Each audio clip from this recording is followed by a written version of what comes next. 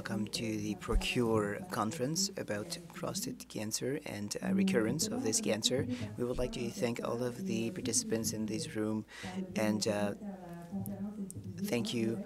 This is uh, both a French and English conference available on the internet on the procure.ca website.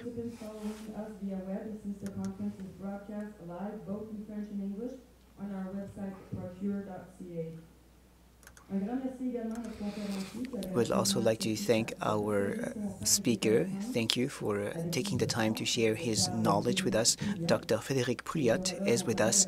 He is a urologist and oncologist uh, working in the hospital center university related to the university. We want to thank our sponsors, Alden Johnson. Thank you to our sponsors that make this possible. A few reminders before we start.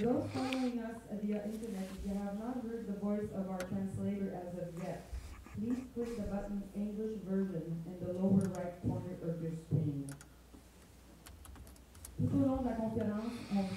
So all along the conference, we invite you to uh, take notes of your questions. There's going to be a Q&A session after the presentation by our speaker. Those that are attending through the internet, you can ask questions questions both in English or in French by clicking on the button which says uh, Ask a Question. So, if you allow me, I'm going to take three minutes to introduce Procure. Lié avec euh, notre, notre organisme. So first of all, we would like to tell you that we support every Quebecer.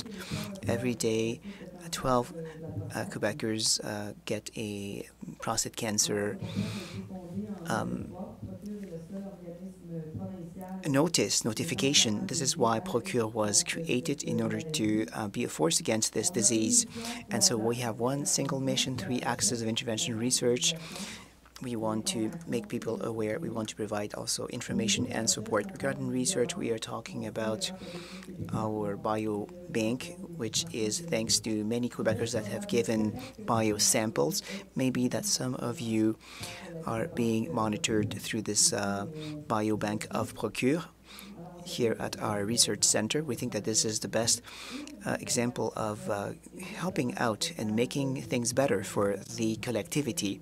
This allows us to uh, invest more seven uh, more than seven million dollars in terms of research, and then we can see if a man receives a diagnosis versus another man that receives the same diagnosis, same age, same stage. Why does one has a recurrence and the other one doesn't have any recurrence of uh, cancer? This is one of the research projects that we are doing through our biobank. Regarding the well, uh, awareness, as you know, November uh, 19 is going to be the Quebec Day of Prostate Cancer Awareness. So we ask everybody to uh, wear this uh, little tie so that everybody can uh, be part for every dollar we give 80 cents to this cause and uh, 80 cents is is for this procured Procure Biobank. Regarding the uh, information and support, well, uh, these types of conferences as of as of today is part of this.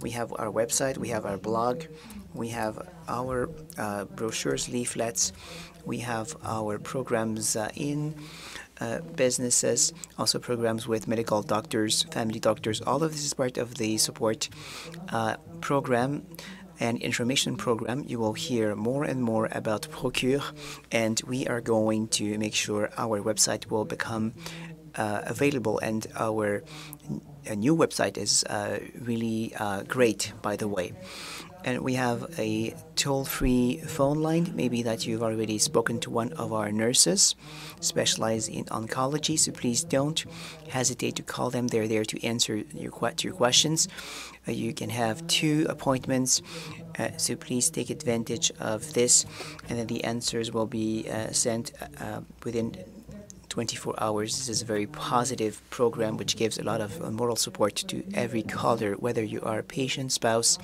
member of the family, colleague. We are there to support each and every one of you.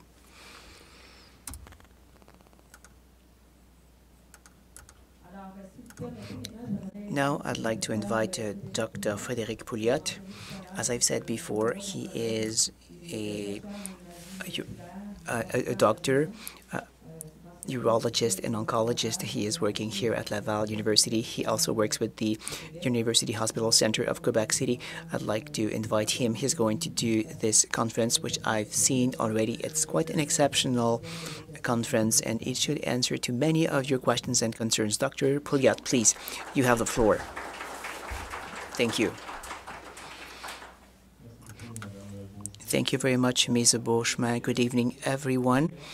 It's a great pleasure to be with all of you this evening in order to discuss this topic of prostate cancer. Today we're going to talk about uh, what to do after a recurrence of a primary treatment. Thank you for attending in order to uh, be able to discuss this stage of the disease and also wel welcome to everybody which are online. We have about 100 people online which were registered and we can answer questions here but also through the web.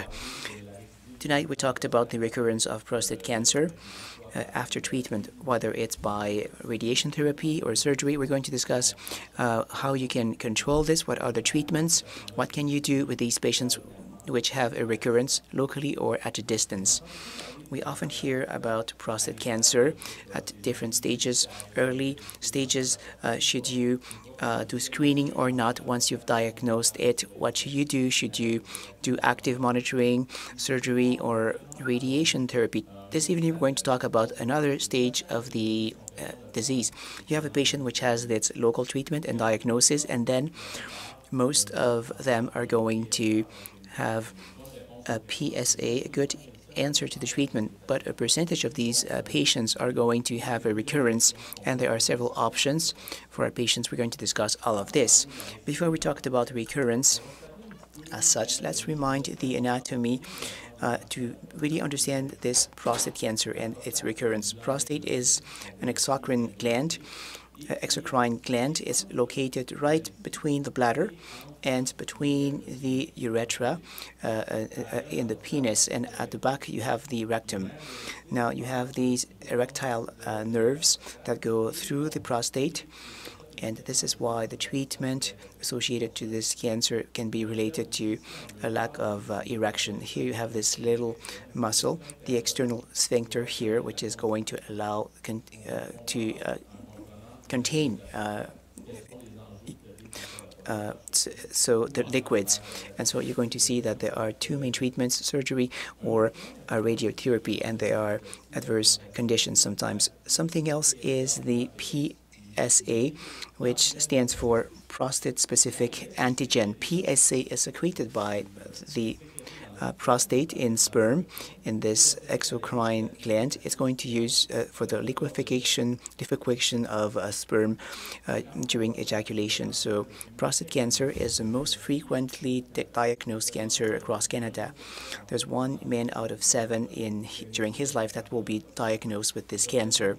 It represents about 10% of the mortality rates of Canada, one man out of 27. In Quebec, we diagnose 12 men every day with this uh, prostate cancer. This is 4,800 Quebecers every year, and 880 of them will die of prostate cancer.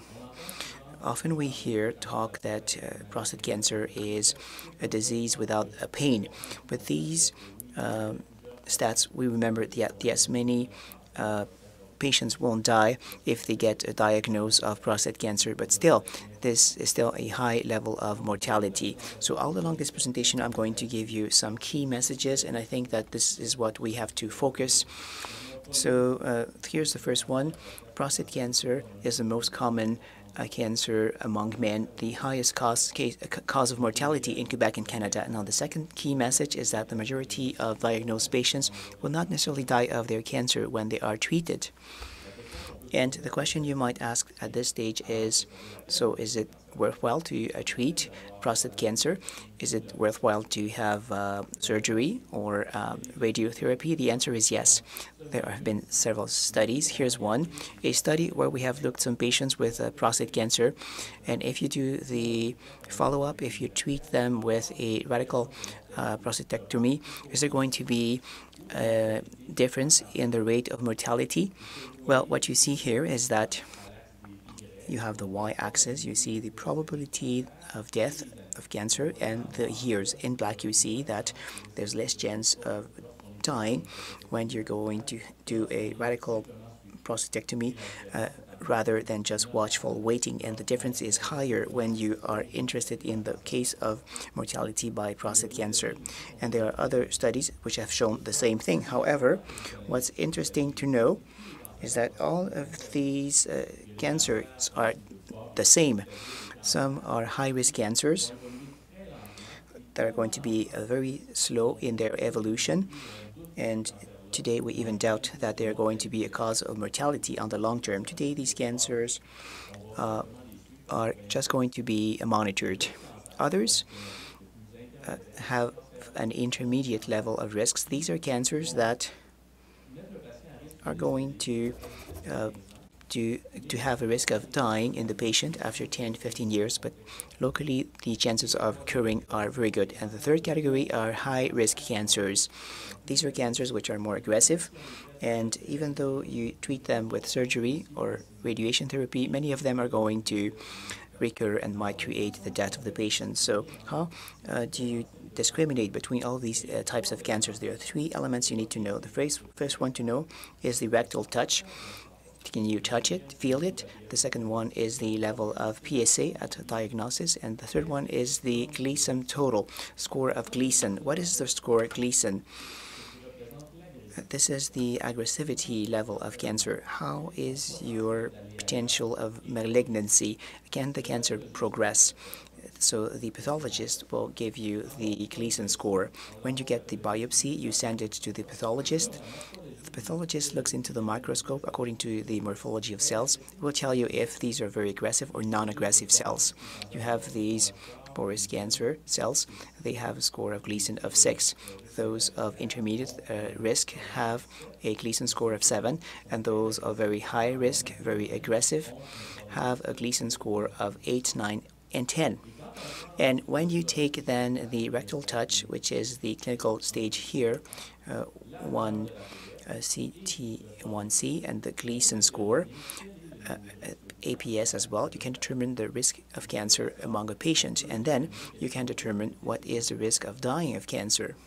So here you have a graph of the three risk levels of prostate cancer after a radiation therapy this is the number of years and the number of dead patients. In red, these patients at high risk are going to die at a higher rate than those patients that have a cancer with a low risk of cancer. This very low level of mortality now that means that we should have an active uh, monitoring not many of them are going to die after 15 years without much intervention. Now, the third message this evening is that prostate cancers don't have the same level of aggressiveness. Often we hear patients telling us, I have a friend, he had prostate cancer and he had a radical prostatectomy. He never uh, had a recurrence. I want the same thing. Another will say, I have a friend, he had radiotherapy and he had a recurrence. So I don't want ha to have this radiation therapy. So often it's not the same type of cancer they're talking about. So when you talk about prostate cancer and you do uh, therapeutic choices, you have to understand the risk level of the cancer, low, uh, moderate or high. The fourth message this evening is that the surgery or radiation therapy of prostate cancers of intermediate risk or high risk, this reduces the mortality level. Many studies have shown this. Now, let's get into the heart of this topic, which is the detection and treatment after primary first line treatment. So, how can you monitor cancer?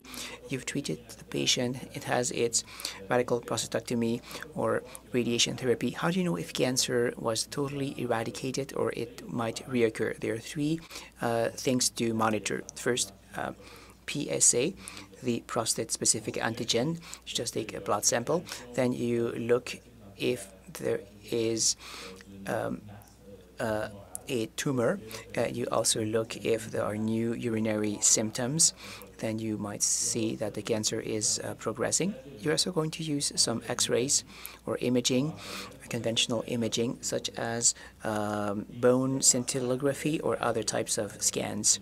Then you might say this is a biochemical uh, recurrence because it's in the blood. If the patient has pain or symptoms, you're going to talk about a progression which is a clinical progression. If the patient has the uh, appearance of metastasis, you're going to talk about a radiological progression. So we are going to see what types, what you can do about these different stages with all of these types of symptoms. Now let's go back to the uh, prostatic specific antigen. As I've said before, this is a protein which is secreted by prostate to liquefy sperm, which is present only in prostate organ. It's elevation is not, its high level is not a diagnosis of cancer. There are other pathologies which might also explain its high level, if it is of high level. Once you've done the local treatment, you monitor the APS, and I was saying in the majority of cases, you're going to have an PSA, rather PSA, which is going to be at zero after the radical prostatectomy. But then if you see that um, PSA will go up once again. This is a sign that there will still might be some disease which might uh, be recurring. So once you've had the first line treatment, you're going to dose the PSA. You're going to do it every three months first for two years, then every six months, and then after five years, once a year during 10 15 years to make sure there's no uh, other recurrence and then you are going to look at the PSA, uh, its uh, speed of change. If it increases, you're going to know if it recur recurs or not. And one of the major questions uh, that I get from a patient who has a recurrence of PSA the end the question is doctor why do you measure uh, psa i don't have a prostate anymore you removed it you need to know that these normal cells of the prostate are going to secrete some PSA, but cancer cells as well. So we assume as doctors that when the prostate is uh, with some PSA, even you don't have um, prostate anymore, you might have some cancer cells that might go into the bones, into the bladder, or into other organs such as the liver. Cancer cells also might go back to the location of treatment such as surgery or radiation therapy. They might go back to prostate in surgery. They might go back to the surrounding area of uh, recurrence. Now, as a clinician also or as a patient as somebody interested by this type of cancer it's important for you to understand when you have a PSA uh, after a treatment, radical prostatectomy or uh, surgery, what's in the mind of the doctor after? First of all, uh, uh if you have um, PSA sources, it might be cancer or it might also be a benign tissue because the prostate uh, is connected with the sphincter and with the bladder. When you do surgery, you want to have a, a, a patient that is going to uh, not uh, have incontinence, right? So you, you want to take care of that. So as I've said before, this might be caused by metastasis. After a surgery, the definition of a recurrence is when the PSA reaches 0.2. Sometimes you're going to detect PSA at uh, 0.01, 0.03, 0.05, and you won't be concerned. The definition of a recurrence is when the PSA level is over 0.2. Before that, it might be benign tissue, these little cells that are reminders at the site of the surgery. And so you're going to monitor them uh, before doing any treatment. After uh, radiation therapy, remember that it's there's still a prostate there uh, organ. There might be some benign tissue which was not irradiated that might be responsible of the elevation of PSA. There might also be some inflammation at the prostate. In the prostate, if you have a urinary infe infection, this might be a cause of an increase of PSA in the pros prostate. And so, for somebody that was treated by radiation therapy, sometimes you have fake, uh, false elevations of uh, PSA, and sometimes also there might be metastases, such as for a radical prostatectomy.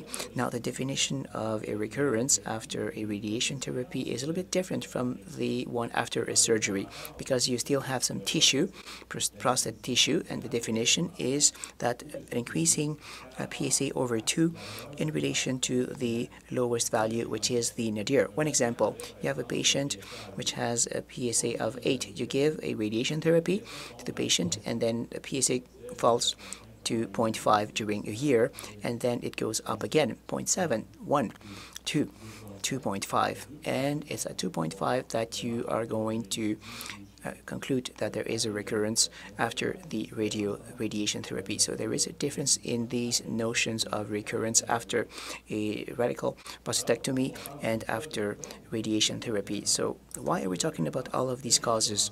Treatment, as mentioned before, between a local recurrence or at distance recurrence, some cells went elsewhere in the body. Is going to be totally different after a radical prostatectomy. You're going to have uh, this rescue treatment, you want to look at these cells in the prostate if there's a local recurrence. If it's at a distance, metastasis, you don't need to irradiate the prostate location. And so you're going to use uh, systemic systemic type of treatments. We've talked about these rescue treatments. What about for each of these first line treatments after a radical prostatectomy? The standard rescue treatment and the only one is radiation external therapy rescue uh, rescue radiation therapy 33 treatments, which are given by external radiotherapy. You send uh, rays that are going to destroy these prostate cells, which are at the site of this radical prostatectomy, and also in these lymph nodes when the irradiation is uh, there. Now, the criteria to give this rescue um, radiation therapy is a biochemical recurrence. Uh, PSA over 2, but you don't want to do it too late. You want it to be very efficient, so you're going to give it before the PSA is under 0.5. Now, regarding radiation therapy, there are many uh, rescue therapies which are possible. There is this the rescue radical prostatectomy. You're going to do another surgery in the tissue. There's cryotherapy also, which means entering needles in the prostate and by freezing this tissue, preserving the urethra in order to destroy these recurrent cells. There are other therapies which use focal high intensity waves, which is called HIFU. This is another uh, therapy, and there are also experimental protocols which uh, include giving another dose of radiation therapy, which is radiation therapy in order to treat once again this prostate cancer.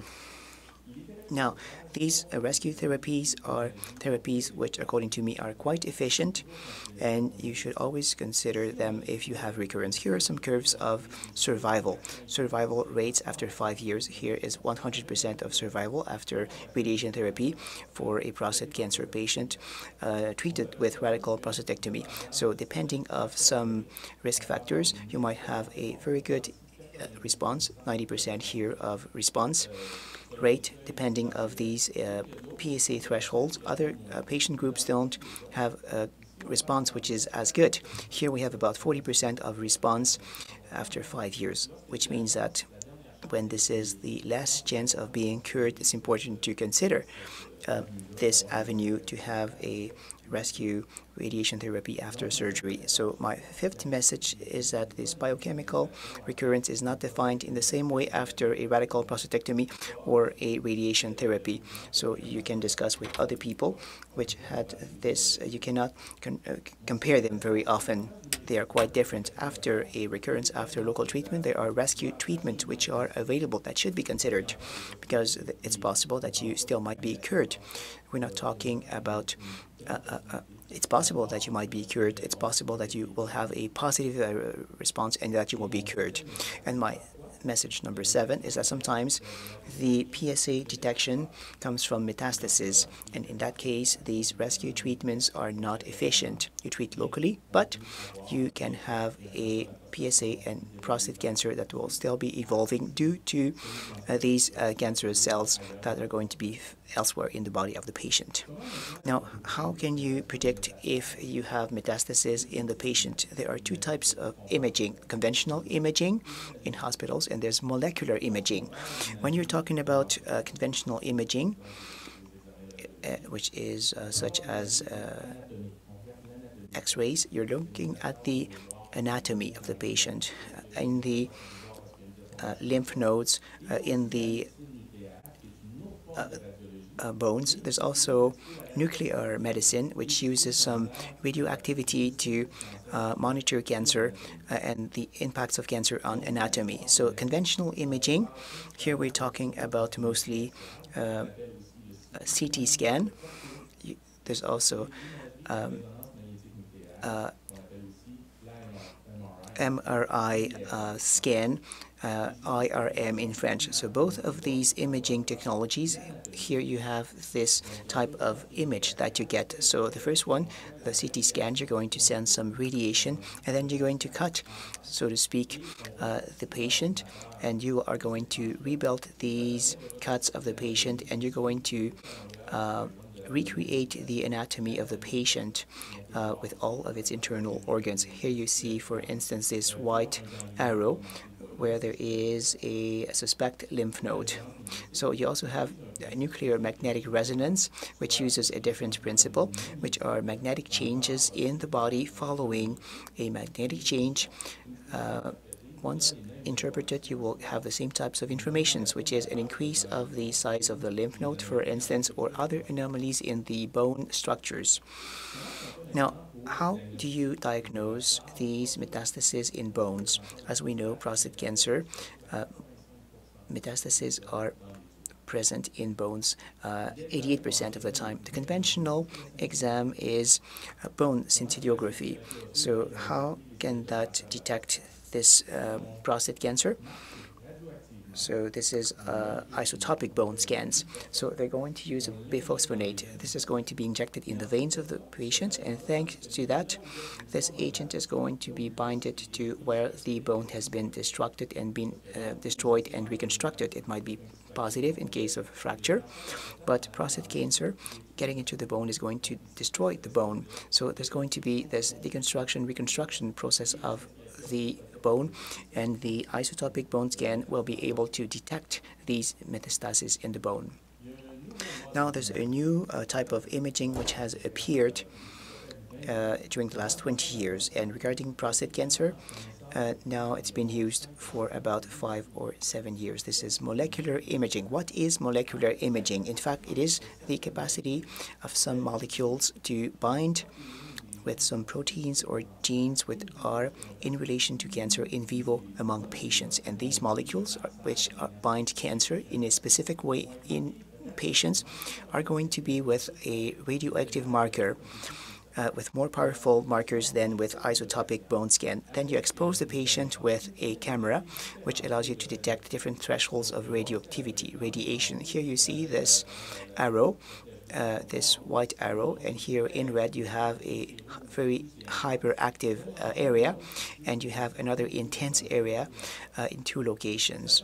Now knowing that this molecule that you call a tracer is related to uh, prostate cancer, well there might be uh, prostate cancer in both of these locations. Then you take these images and you're going to uh, connect them to the anatomy, and then you see that this white arrow does correspond to a metastatic lymph node, even though this is a regular size. You can look if there are some cancerous cells, what is the probability rate of cancer, and also you can see here that this red arrow corresponds to the gut, and because this tracer is in the gut, we know that it's not specific, therefore not a cancerous cell. Now these uh, new imaging types of techniques are uh, very, very interesting now in order to find prostate cancer. Now, there are two tracers that were used during the last 10 years. The first one is choline. Choline is a tracer uh, which is in cell membranes. These are cells in all uh, mammals which are going to be incorporated when the cell divides. So it's going to be uh, more preferentially incorporated in cancer cells than in normal cells. So when you inject some choline in the patient, which is marked with fluoride or radioactive carbon and you are going to use the PET scan, this type of imaging, you can see these hyper uh, bright, very bright areas when you're going to uh, use CT scans, and this gives you a very high probability of having a cancer in that location. Another type of tracer which is used today which is more and more uh, important now in the monitoring of recurrence of prostate cancer, is the uh, tracer which is going to bind PSMA. What is PSMA? This is the prostate-specific membrane antigen. This is a pr protein which is uh, at the surface of cancerous cells mostly and not in benign tissue. So, and companies and different universities have been developing some tracers, that are markers that are going to be binding to these molecules and these are radioactive uh, markers. And so this is a very specific type of imaging. It's like really uh, focusing on these cancerous cells uh, in a patient. And thanks to these markers or tracers which have complicated names. These are markers that bind to these proteins.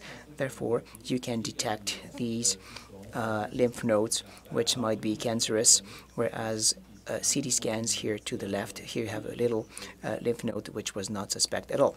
Now, now this has uh, led the European Association of Urology, which is the uh, most important in the world right now, to give some recommendations. So who should undergo that type of imaging or not uh, after uh, a radical prostatectomy or um, recurrence. And the same arguments might also be applied to radiation therapy, of course. So if uh, PSA is under one, no technique has been shown as be sensitive enough if to know if this is local recurrence or elsewhere in these metastases. If PSA is over one, uh, it's not. you can recommend to use uh, PET-CT scans uh, for choline or with uh, PSMA. Now, uh, listen to this. These new markers tracers are being uh, researched. They have not been registered here in Canada yet. So the only way to have them is the only way to access them here right now is through research. It's the same thing as for like a medication. It needs to be approved here in Canada, and uh, in Europe uh, the uh, rules are different. Uh, therefore, you cannot use them right now unless you are part of a research protocol. So just uh, get some information. There are some research being done here in Quebec, also in McGill and in Montreal. So these new markers or tracers are available, but only through research. Now, regarding conventional imaging, uh, whether it's uh, isotopic uh, bone scan or CT scan, it's recommended only if PSA is over 10. Why? It's very, very sensitive. You will not find uh, metastasis at uh, PSA levels, uh, at thresholds where it's going to influence your treatment, radiation therapy, or rescue prostatectomy. So, so what we have right now, our imaging uh, very often is not very efficient not considered very efficient anymore and molecular imaging will be uh, the new type of imaging that will be used. Now Another message, message number eight, if you have a recurrence of high-level prostate cancer, detection of metastasis might give direction to the treatment. And now the conventional imaging techniques are not very good uh, to eliminate metastasis at uh, uh, PSA levels that allow for an efficient uh, rescue treatment. So in Quebec, we have to base our decisions and go to systemic treatments or local treatments based upon these PSA thresholds, the tumoral uh, levels, and Gleason uh, scores. So uh, we're going to give, therefore, a probability of answer. Uh, with the data we have in hand, these stats uh, indicate that you're going to have 30% or 90% chances of uh, recurrence, let's say.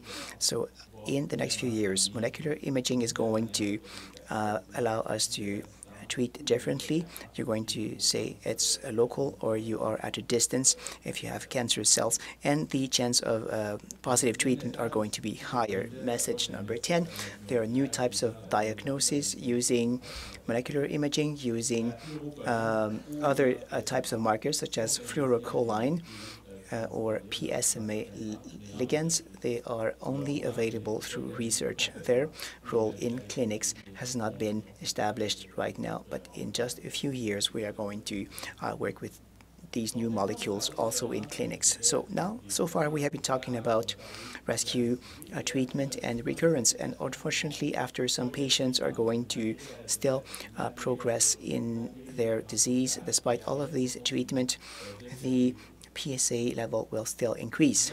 So I wanted to mention this is a, very difficult um, moment for patients. You were convinced that you could be cured, cured, but now you are getting into a new stage of the disease. Disease is evolving despite all of the treatment. At that stage, what I want to say is that we are not forced to react and treat right away. All right, we need to observe and we need to see the speed of the elevation of PSA. This might be a good indicator. We know that there are some treatments such as hormonal therapy. They might have some side effects you might have to wait several years before patients are going to have metastases are going to be detected by uh, conventional imaging. Some studies uh, have shown that regarding Gleason 6 and 7 cancers, really, it might take several years before the biochemical recurrence and the uh, apparition of metastasis, uh, 10 or 8 years. And now, Gleason 6 and Boris, uh, we expect that the progression might be faster, but the main message is not to wait for 8 years or 10 years, but we need to know that the observation period in order to understand the dynamic of the cancer uh, uh, is that appropriate and we don't want to undergo treatment too early uh, with all its side effects, whereas we could have waited for many years before having some metastasis. And now, the cancer, one it has resisted to local treatment. Uh, if it uh, exited this uh, prostate area, we're talking about metastasis, and then you need to start some systemic type of treatment. Therefore, because there is uh, there are metastases, and there are different types of systemic treatment at different stages of the disease. Now, the first treatment, which is the basics of prostate uh, treatment, is castration. So, why is castration such important treatment? Because the prostatic cells are going to use testosterones and male steroids. So, without steroids, testosterone or hydrotestosterone cells are going to die or uh, not going to survive. So the first therapy, the basics of therapy to, to control prostate cancer is to block these uh, types of substances. So what are the sources of testosterone? Testes. The testes are the source, and also the adrenals, ad adrenal glands. These are these glands which are on the top of the uh, organs uh, which secrete some uh, adrenaline, and part of that is these substances might help the proliferation of cancer cells. So when you look at the basic treatment uh, that you can do in 2017, there are different uh, ones of them. First, you might target the testes. Either you remove by surgery the testes or you're going to have a chemical castration. So what uh, is this chemical castration. Uh, in order to secrete testosterone, testes need to be stimulated by some hormones uh, that are related to the pituitary gland. LH, for instance, and will say, please secrete these hormones. And there are the antagonists antagonists of uh, GnRH, which are going to block the secretion of LH, and therefore the testes are not going to secrete testosterone anymore. These are the oserbilin and other substances, Firmagon, Eligard, and all of these types of Zoladex, all of these uh, drugs that uh, involve chemical castration. You can also block in 2017 the action of the adrenals. This is something new uh, that since uh, 2008, this is new with a pill called lateral acetate, and I'm going to explain its uh, mechanism of action. And you can also block directly the action mechanism of an androgens within the prostatic cells. Progesterone uh, gets into the cell and will cell will say proliferate and this goes through a receptor there's one molecule which accepts testosterone or androgen and will say tell the cell go. It's possible to replace this molecule that will bind to the receptor without activating it. So it will take the place. So these anti-androgens are the enzalutamide, for instance. These are active drugs to treat prostate cancer in a systemic way. So there are different ways to uh, use to control prostate cancer. Now, when a patient is sensitive to castration, was never exposed to andro uh, androgens, what can you use? You can use the agonists and antagonists, bicalutamide or chemical castration. These are currently our options in 2018. Unfortunately, once a patient has been placed under hormonal therapy, here we're talking of some control of the disease. You cannot cure anymore, you can just monitor it because you want just to monitor the disease and you want to control it. And inevitably it's going to become resistant to castration. This is yet another stage of the disease that will develop after some years of exposure to these uh, castrating uh, drugs.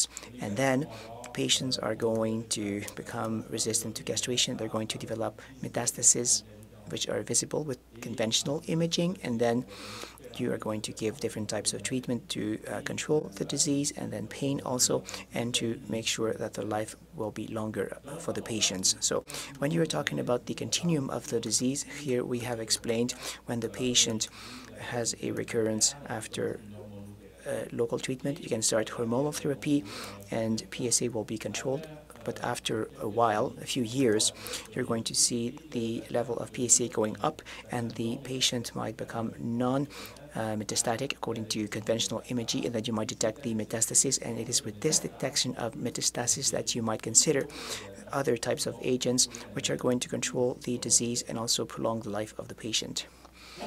Regarding uh, cancers that don't have any metastasis, you have a patient uh, who is resistant to castration. So when you do the isotopic bone scan and CT scan, you don't find any metastasis. What can you do? Right now, there's no acknowledged treatment to prolong life. What you know is that in 2018, there might be some announcements, news. There are large studies that were done which are going to announce some benefit uh, due to some uh, drugs, molecules. Right now, there's only research which is being done.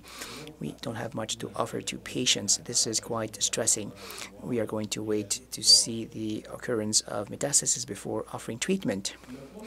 The first treatment, which is uh, efficient for prostate cancer. Here we're talking about uh, metastatic conditions resistant to castration. So there are metastases. The first treatment which has been shown as efficient is chemotherapy. Uh, so the first study that shown an efficient molecule for prostate cancer with metastasis, uh, this has shown that um, chemotherapy can prolong the life of 2.5 months the survival of patients in average. So we have a survival rate of uh, in the dashed line is chemotherapy, which is acknowledged as being good in order to increase or reduce rather the pain, but not increase the survival rate. Regarding this uh, chemotherapy, we see that the patients with chemotherapy will live longer. And now here we have some new options for prostate cancer. Uh, with metastasis resistant to castration. Then there were other hormones that have appeared during the years 2008 and 10, and these are labetalol acetate and enzalutamide. Now, abiraterone acetate is a pill that you can have which is going to act on the adrenals when cancer, prostate cancer, is proliferating again after castration. You can block these enzymes.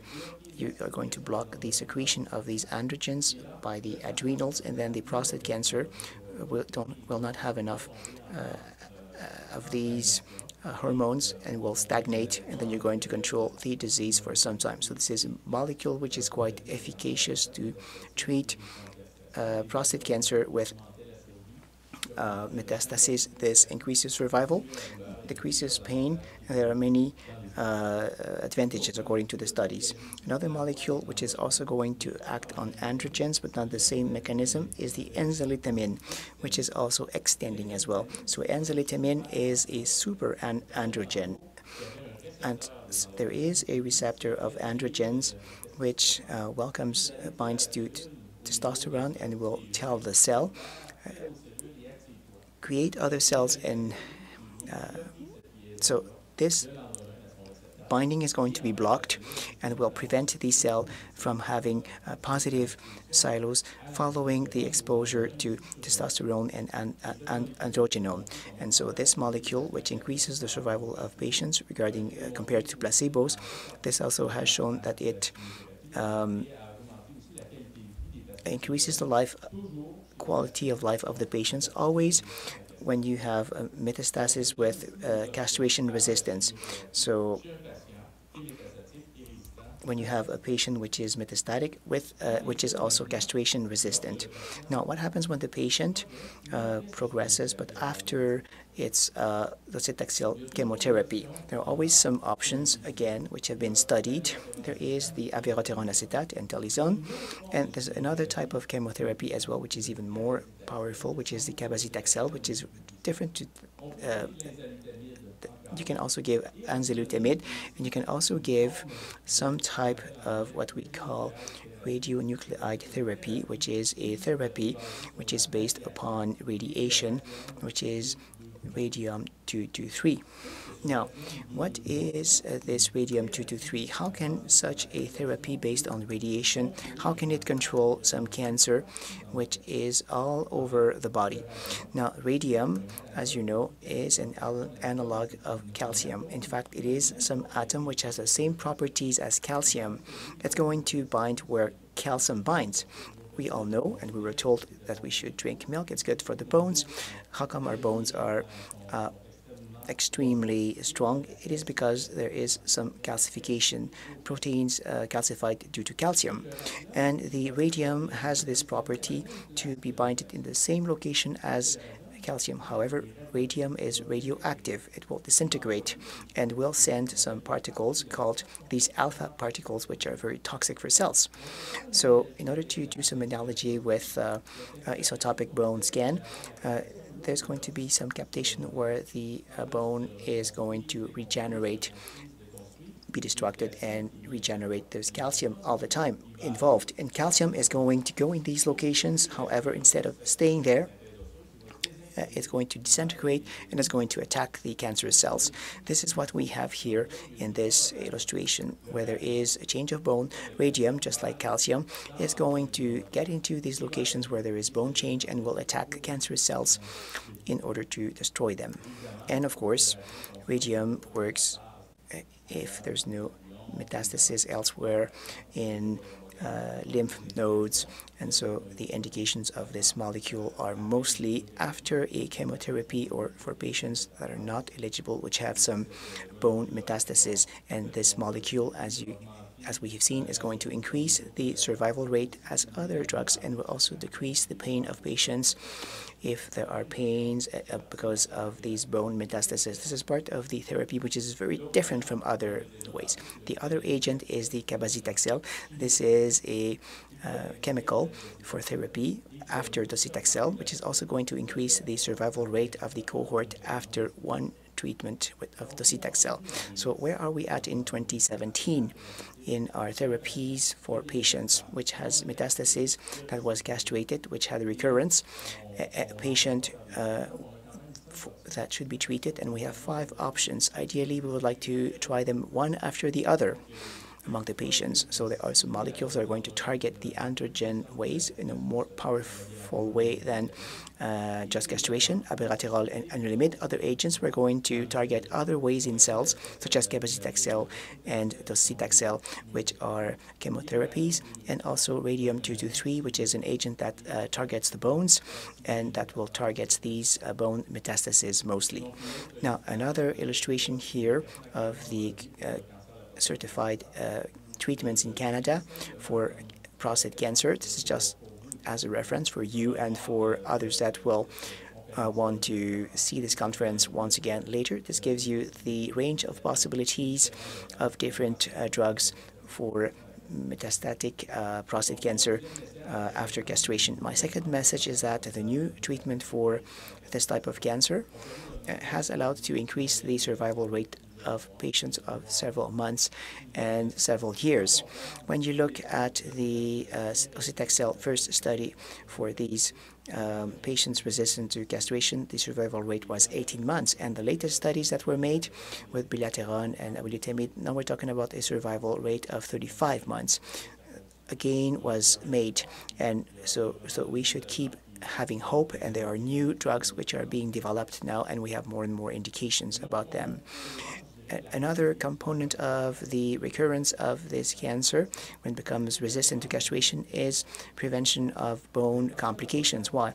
Prostate cancer, as I was saying, 85% of the patients with metastasis are going to have bone metastasis when they are resistant to castration. And these bone metastases are going to create all types of complications. They might create fractures or pain or might compress the um, center of the spine and this is going to compress that area. So there are all types of complications that might occur and this has some major uh, impacts pain loss of autonomy also a reduction of life quality of life and also an increase of cost uh, because uh, it costs a lot to uh, uh, do the surgeries.